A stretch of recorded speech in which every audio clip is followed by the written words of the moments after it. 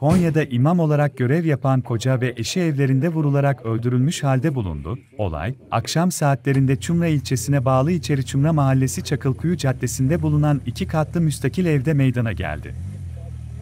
Edinilen bilgiye göre, imam olan 57 yaşındaki Hüseyin Çoban ve eşi Mürüvvet Çoban'dan, 55, haber alamayan yakınları eve geldiklerinde karı kocayı kanlar içerisinde buldu.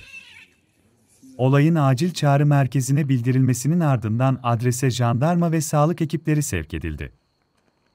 Adrese gelen ekiplerin yaptığı kontrolde çoban çiftçinin tabancayla vurularak hayatını kaybettiği belirlendi. Ekiplerin olay yerinde yaptığı incelemelerin ardından çoban çiftçinin cansız bedenleri otopsi yapılmak üzere morga kaldırıldı.